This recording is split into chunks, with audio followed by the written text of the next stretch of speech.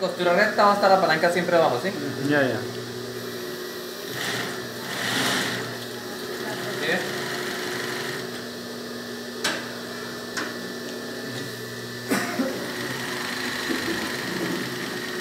Para zigzag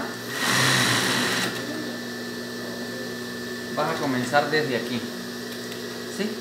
Aflojas estos dos y esta palanca la mueve. Entre más acá, más ancho el zigzag, ¿sí entienden? Ejemplo, un zigzag pequeño puedo ponerlo aquí. Aquí la reduzco y puedo hacer un zigzag parecido a un ojal. ¿Sí? ves? Más chiquito, ¿no? Como para hacer un ojal. ¿Sí? Si yo lo voy agrandando aquí, me lo va haciendo más separado.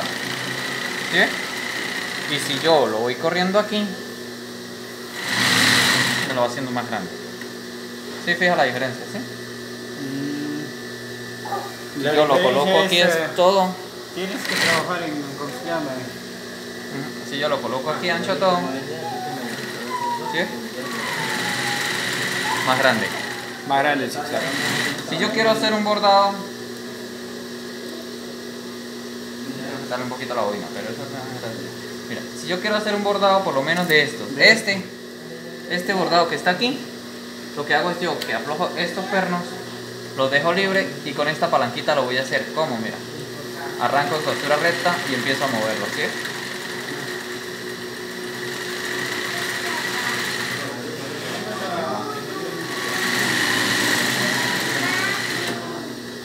¿Sí vio? ¿Cómo salieron? Todo eso lo vas a graduar tú. Si lo quiero hacer hacia un lado, lo que hago es que hay una palanquita. Tiro hacia un lado o tiro hacia el otro, ¿sí? Pongo, pongo, pongo hacia este lado.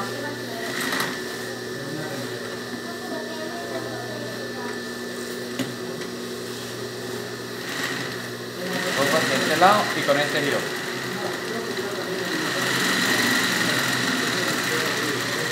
¿Sí? Y si lo quiero hacia el otro lado, subo por acá.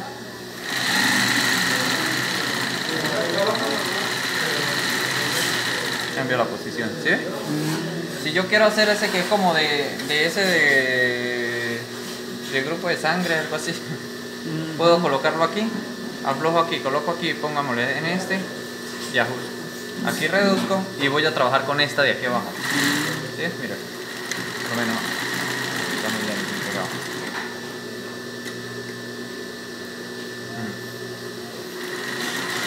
Aquí, subo para acá, ¿Sí? Lo quiero hacer más pequeñito para que quede mejor.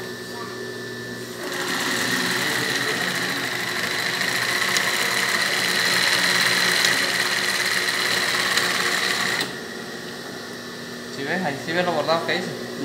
Esos bordados los hice con esta. A esta la pongo en un zigzag pequeño y esta la pongo hacia arriba y hacia abajo. Ella va moviendo la aguja. Pero el zigzag es un sí mismo zigzag. Con este hago costura recta y un zigzag. Y hago así como una especie de bolitas que también usa mucho. ¿Sí? Eso es mucho lo que hace. Aparte del bordado relleno, ¿no? Sí, aparte del bordado relleno ya lo puedes hacer. Quitas el prensatela, colocas aquí el zigzag que deseas, buscas un bastidor y comienzas a bordar. ¿Qué pasa? Que ella va rellenando. ¿Sí? Yo tuviese un bastidor, me hiciera más o menos esto, pero yo lo manejo donde yo quiera. ¿Sí ves cómo va rellenando? ¿Sí ves la raya roja aquí?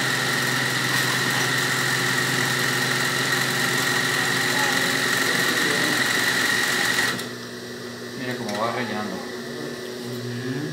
¿Sí? Yo lo que hago es rellenar así. Pero en el, el más ancho, ¿cuál es el más ancho? Que eso también le interesa al señor. Zigzag más ancho, como te dije, afloja Aflojas estos dos los tornillos, lados. corres para acá la palanca hasta el fondo y ajustas.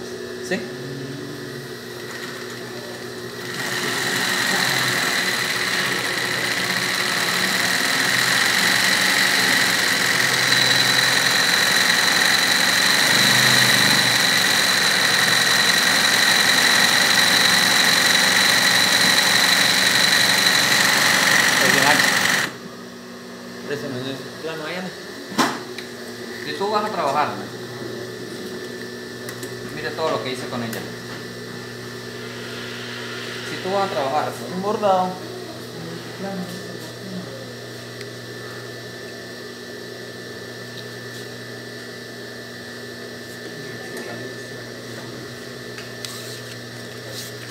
Ponle.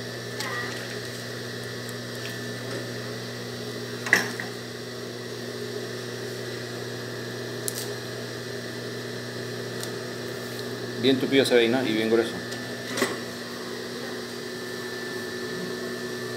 El que trabaja con bordados tiene un bastidor. Dice el señor que orde que él dice que sabe bordar. Que de repente le cuesta todavía. Charro, ¿no?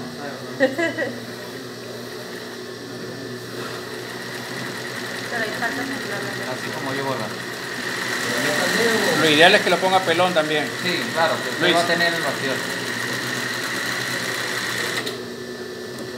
¿Sabe bordar? Prueba.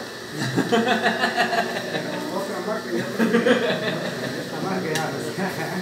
¿Eh? Ah, Pero así como se borda, así. No, pero había en otra marca, dice, pero que lo metí el disco, me dice él, no sé. Ah, vos no ya son semis.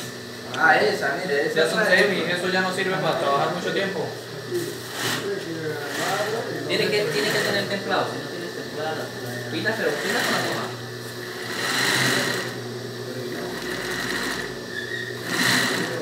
Ese ya trabaja sin pata, ya libre, ya. Si tú quieres Sí. hacer cualquier figura. Ajá, si tú quieres hacer figura, lo que tienes que buscar con un pelón y con una buena tela, tú paseas bien.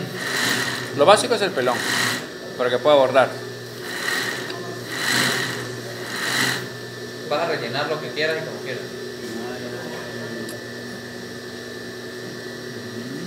Costura recta la va a hacer con la palanquita derechita arriba, abajo.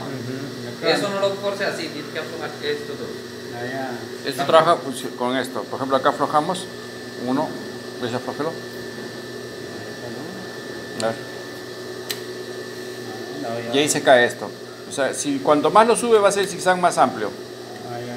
Si lo suelta, al último queda acá, va a ser recta. Ahí queda como recta. Si lo sube un poquito, es zigzag chiquito, zigzag mediano y zigzag grande, ¿no? Mucho más grande. Ay, Sí. Ese es para el ancho el zigzag. Y para lo pegado separado es esta manija, ¿no? Ahorita está en el 1, ¿no? Si lo, lo pone en el 2 se separa más, en el 3 se separa más, en el este 4. es para la puntada, ¿no? que te vaya, ¿no? École, sí. Ah, Y todo ten, todo ten que trabajar con esto. Para el zigzag, sí. Trabaja con este, con este y con este. Dependiendo de lo que vayas a hacer, esas tres palanquitas se Es mueven. que esta es la posición de la aguja. Claro, que este es Si uno quiere decorar de forma manual, ¿no? Con esto, para la izquierda o para la derecha. Ay, ay, ay, en ese es este bordado. Este, ¿sí ves? Con, Con el de- esto. con ese, si lo dejas a mitad te hace este. Y si lo dejas a un lado te hace este. Todo lo que hace es multifuncional la máquina, lo único que hay que saberla usar. Claro, ¿no? A la diferencia de la otra, en la estructura física es lo mismo. La diferencia que esta ya viene una lubricación, ¿no? Que es esta. Este es el tanque de lubricación. Y esta es la bombita. Y esa es la bomba de aceite. Se baja, ¿no? Para que pueda lubricar. Esta bomba es la que absorbe todo el aceite que va acá y la máquina lo lubrica. En este caso ahorita. Ese es su tanque de lubricación. Esta prácticamente esta máquina es con lubricación. Cuando llegues allá lo único que vas a tener que colocar es la. El más larguito va en el. Y de dos tamaños, y El más corto es para levantar la presatela. uno- el- ¿No? no, el más largo. El más largo para levantar la presatela y el más corto es para el ancho del zigzag. Sí, Nada más. Este para la pata, ¿no? Sí, para levantar la mano. Sí, eso es todo. Somos Perú Máquinas, estamos ubicados en Prolongación Huánuco número 1737, segundo piso, La Victoria. Eso queda al costado del Parque Canepa, en Gamarra, o frente a la iglesia o Colegio Santa María Coretti. Pedidos al 9750-72297, señor Henry Bazán.